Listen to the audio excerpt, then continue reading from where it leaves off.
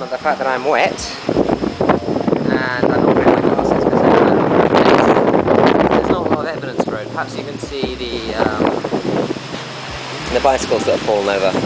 Generally bicycles fall over. But uh, this time a, uh train got blown over too, so somewhere over the wind flames. I think it'll be here in a few hours. Back. I'm now standing in my porch and um, I'll tell you something about typhoons. Typhoons are all about the sudden gusts of wind.